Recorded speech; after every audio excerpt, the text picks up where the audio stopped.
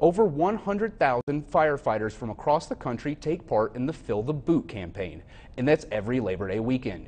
Here in Mesa County, Clifton firefighters set up outside City Market to show their support for muscular dystrophy. This year marks the 65th annual Fill the Boot campaign. Clifton firefighters spent their afternoon outside City Market with a boot in their hands asking for donations.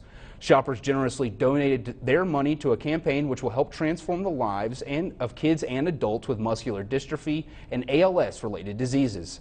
A Clifton firefighter explains the breakdown of the donations and how every cent makes a difference to the cause.